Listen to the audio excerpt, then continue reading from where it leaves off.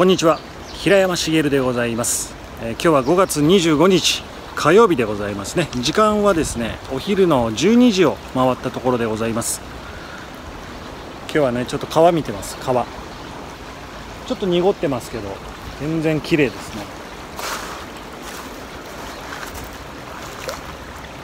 冷たいです。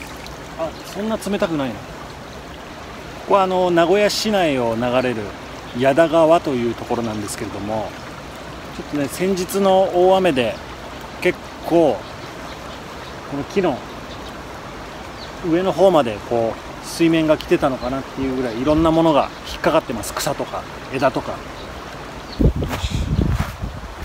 結構これ引っかかってます。この僕の身長より上にあるから水面が結構なところまで来てたんですね。え今日まあ火曜日ということなんでねまだ2日目。週が始まって2日目ですけれども本日もお仕事ね皆様お疲れ様でございました。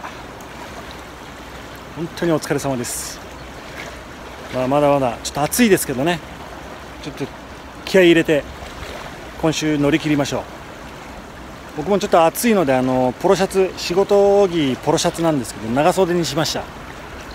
ちょっとねすごい焼けるので車はやっぱり。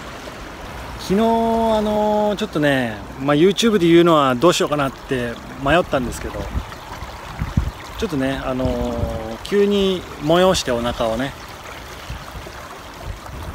ちょっとねあの漏らしたんですよね。大きい方をね。でまあちょっとパンツをね新しいのを買えないといけないっていうことでパンツ買いに行ったついでにポロシャツ買ってきました。はい。すいません汚い話。汚いけどこれはもう大丈夫なんです。みんな知ってることなんで。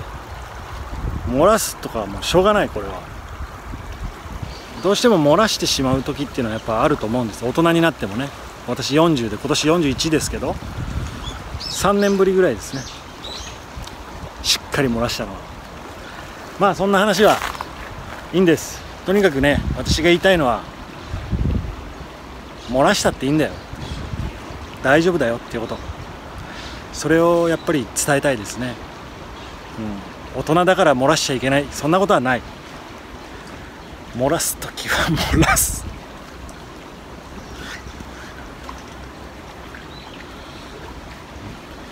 大丈夫。大丈夫。恥ずかしくてね言えないことですよこれは。でもね言う。僕は。平山茂だから。言う、うん、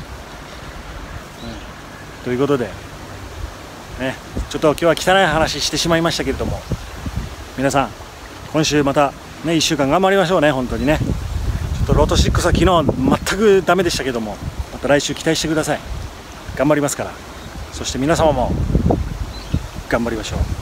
頑張りましょう。ということでまた明日でございますね。